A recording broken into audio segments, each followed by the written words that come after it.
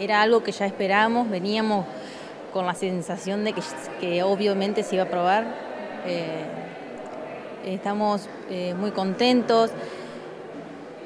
Este, eh, vamos a, a, llevar a cabo los, siguientes festivales em, con personas idóneas que tengan conocimiento sobre la disciplina.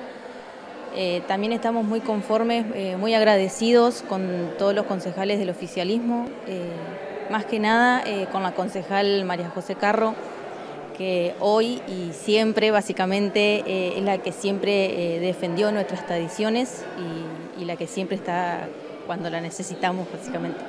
Bueno, y ahora qué es lo que regula a las jineteadas? ¿Cuáles son las, las reglas, las condiciones a cumplir para, para su realización?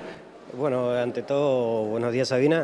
Y bueno, contentísimo porque ya sabíamos que esto se iba a rever y, estamos emocionadísimos porque tenemos mucha gente detrás nuestro que estaba muy amargada cuando el 27 de noviembre se, puso esta ordenanza y bueno, eh, los pasos a seguir son que van a ser controladas por gente con conocimiento, idónea en el tema, y, tenerlas adentro del Gualeguaychú para que sea el mejor control, ¿no? Que, o sea, que no haya jineteadas afuera que no, no puedan ser controladas y que haya maltrato animal y los perjudique a nosotros que estamos tratando de que esto quede en la ciudad y con totalmente un control. ¿Y cuáles son esos controles? Los controles son eh, veterinaria municipal, el tema de las espuelas, eh, el tema de los rebenques, el cuidado del animal, cómo se encuentra el animal llegado al día de la fecha en su fiesta, todo eso.